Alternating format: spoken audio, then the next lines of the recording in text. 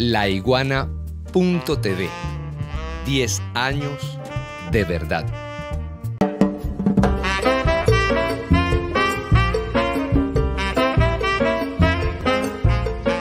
Es preciso recordar que a pocas horas de comunicarse las fugas en los dos ramales del gasoducto Nord Stream, los gobiernos de Suecia y Dinamarca adelantaron que lo sucedido se correspondían con una acción de sabotaje al tiempo que desde la Unión Europea prometieron una respuesta dura de comprobarse que había sido el caso.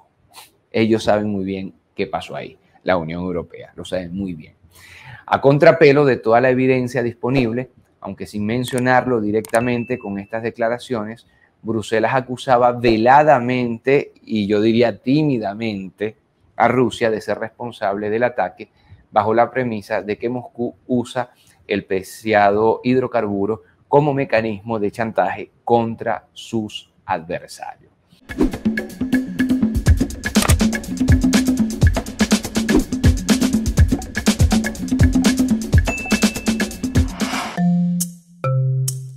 Laiguana.tv La verdad hecha tendencia.